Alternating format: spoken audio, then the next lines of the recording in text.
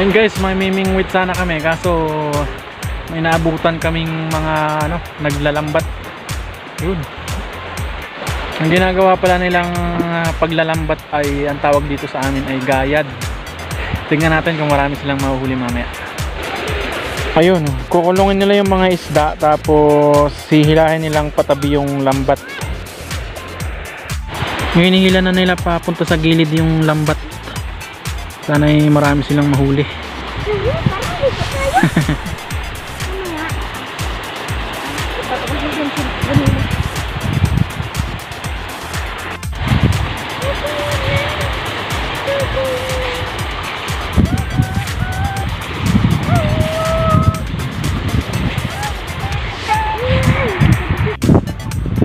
Huli nila oh.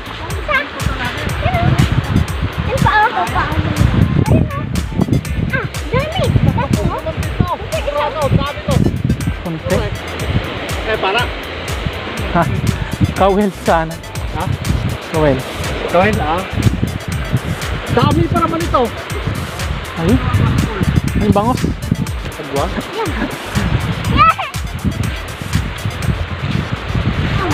Nalundag-lundag pa yung malaki oh. Hmm.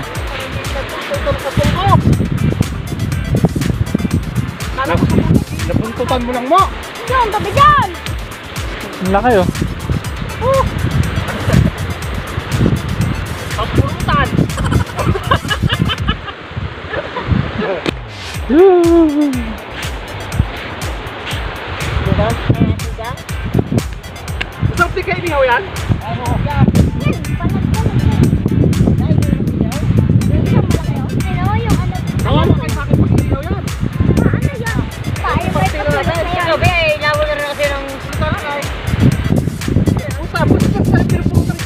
Mo kaupas ng salas dalay.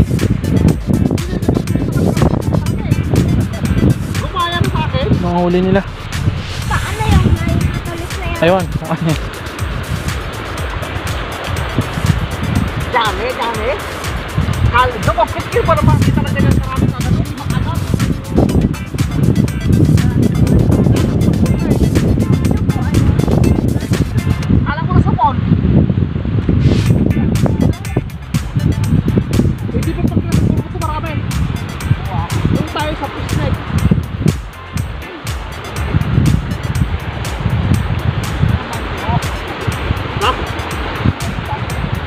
pala dyan sa inyo? Kala ko parehas. Kala ko murang ilong, murang murang ko na, dami. Murang ilong lang hinihingi, ay bitin ang binigay?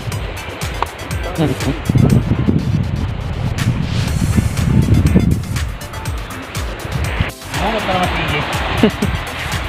Hmm. Biyaya. Oh.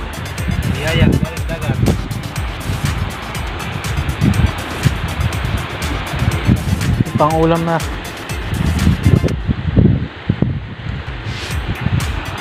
Ay, gan? Ayos. Isang kilo na yan. Magit. Ulap-ulap lang. Masungit ang panahon ngayong hapon.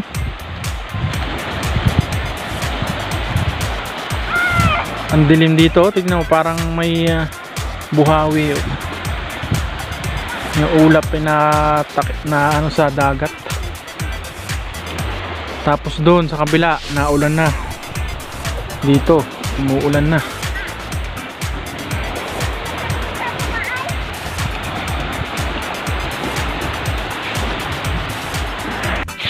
Uwi na kami kasi malapit nang bumagsak yung ulan.